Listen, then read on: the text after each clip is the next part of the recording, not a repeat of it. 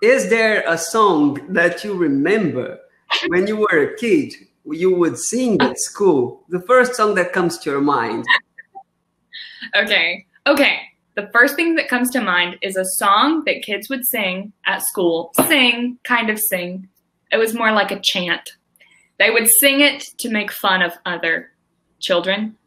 A girl and a boy, maybe they're talking to each other. So other little kids will come over and they will say, let's say their name is Kate and Chris. Okay.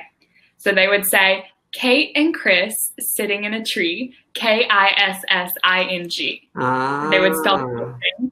And it would just, it would embarrass everyone. And they were like, oh my gosh, stop. But it was like a song and they would sing it and embarrass people or try to embarrass people. Ah, that's exactly the, the song that I was thinking about. Oh, really? Someone- okay, there we I go. said someone and someone else sitting on a tree, but it's not on, it's in a tree. Yeah, in would be better to say. But I mean, you can say on. That's probably fine too. In would be better. Stick with in.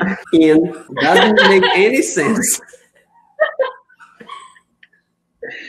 Uh, because they're like they're like in the branches and stuff. Ah, okay, now it makes sense. I don't know. I don't know. I'm sure there's a logical explanation for why we do this. Okay.